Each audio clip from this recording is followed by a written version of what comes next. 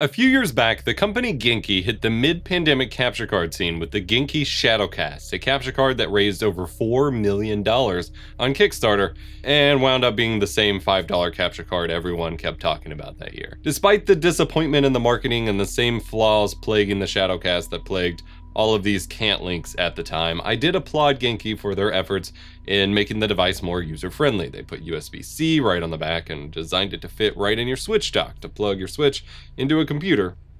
Plus, they developed some apps for some hopefully low latency capture gaming.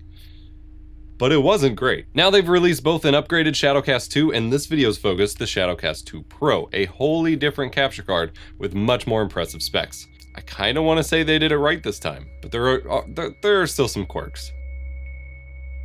First and foremost, we have actually competitive specs. For $120, the Shadowcast Pro 2 or 2 Pro beats out Elgato's Game Capture Neo in capabilities by a fair margin and competes quite decently in the market on the whole. The capture card can pass through normal 720p and 1080p signals from your Nintendo Switch or older HDMI game consoles, sure, but it can also pass through 4K 60Hz, 1440p 144Hz, and 1080p up to 240Hz signals, as well as pass through HDR and variable refresh rate. Not bad. These are older gen specs, but the card also offers a direct 4K 60 FPS capture over USB, making it a competitive middle ground between the newer HDMI 2.1 capture cards and the older HDMI 2.0 USB capture cards that couldn't capture 4K 60 directly. It's not perfect, however, as the 4K 60 capture is MJPEG only, it comes with higher input latency to the capture preview and seems to drop frames quite often, in my experience. These first two captures of Returnal and Modern Warfare Remastered are not a fluid 60 FPS. Every few frames there's a dropped frame, resulting in a not smooth viewing experience. Plus, the MJPEG compression does feel a little chunky compared to your normal uncompressed signal from capture cards or newer generation MJPEG. This is not a bandwidth limitation. I'm using the same port and cable and everything that I can capture uncompressed 4K 60 or compressed 4K 120 from the Elgato 4K-X with this machine. It's just dropping frames for some reason during the compression or transfer stage on the device itself before it even hits OBS. Moving beyond that, the rest of the capture specs are pretty impressive too. It can capture 1080p in full 444x RGB format, which is wonderful for scaling and green screening and other effects. Awesome. 1440p 60 is in 420 NV12, which is fine. Uh, but even better for those doing high frame rate gaming, you can capture 1080p at 120 FPS in NV12 or 240 FPS if you accept MJPEG encoding. I cannot test 240 Hz at this time, but 120 FPS seems to work great in my testing. I'd also like to note here that the Shadowcast 2 Pro has a decently flexible scaler built in, happily outputting whatever resolution you want in OBS from your source, which has historically been a problem for some USB capture cards. The HDR pass-through introduces more problems, however. You can't capture HDR directly to let OBS do the tone mapping for you, and the built-in HDR to SDR tone mapping comes out a little dark and not great looking. Even when recalibrating the PS5's HDR output to the capture card instead of the TV, and you can see just how different the two are here, I still don't get great results. I'd stick to playing in SDR if capture quality is a priority for you.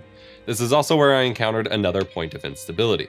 After tweaking the HDR settings and not being happy with the results I got, I turned HDR off entirely on my PS5 and captured a pretty solid match of Modern Warfare Remastered here but the colors are just like cranked to the max. It looks crazy. I'm guessing it just didn't disengage the HDR to SDR tone mapping despite not getting an HDR signal anymore, so I had to reboot my console and replug the capture card to get colors looking right again. Input latency wise, this is something I'm always more critical on based on the marketing of the individual capture card I'm reviewing. Once again, Genki focuses on their lightning fast previews and low input latency to, since, you know, their product is heavily targeted towards the use case of playing from the capture card preview. I still don't recommend playing, from the preview, even with this. In the 4K 60 MJPEG mode, input latency to the OBS preview is around 72 milliseconds, which is not anything special these days, and we now have a mountain of capture cards that perform better here. Swapping to uncompressed NV12 and 1440p, however, and the latency drops by nearly 20 milliseconds to 53 milliseconds, which is far more competitive and a good spot to be in. Genki also offers a dedicated app to play and capture from, which should theoretically be the lowest latency option.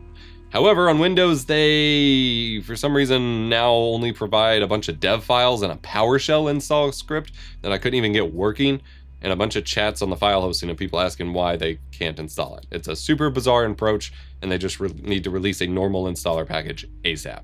Testing the browser-based Genki Arcade tool results in 74 to 75 milliseconds of input latency in both 4K 60 compressed and 1440p 60 uncompressed modes.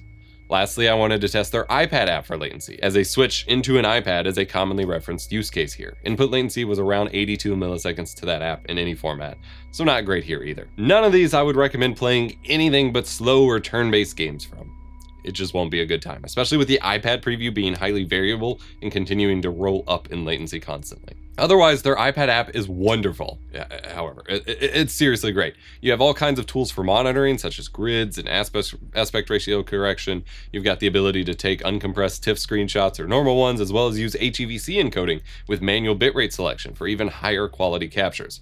I just really want to encourage them to implement ProRes encoding for the M2 and higher iPad Pros please. The app has a bunch of options and let you use any UVC device to capture, not just Genki ones. I find myself using it to all the time now for portable captures. In terms of my normal oddball capture testing, the device supports native 720x480 capture from retro HDMI systems and full 444 XRGB, which is wonderful for scaling.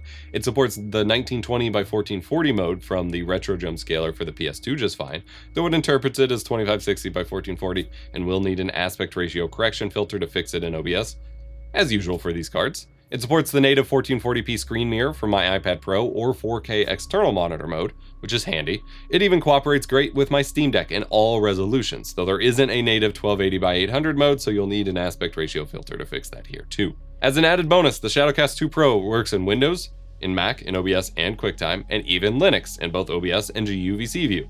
Though I did have some issues with 4K 60 MJPEG not working properly in OBS on Linux, it was acting a little funny. But in 1440p 60 NV12, I had no issues capturing and it looked great. In Mac, I now need to point out, since people seem to get mad about this, that you don't get to control what resolution a capture device comes in at in QuickTime.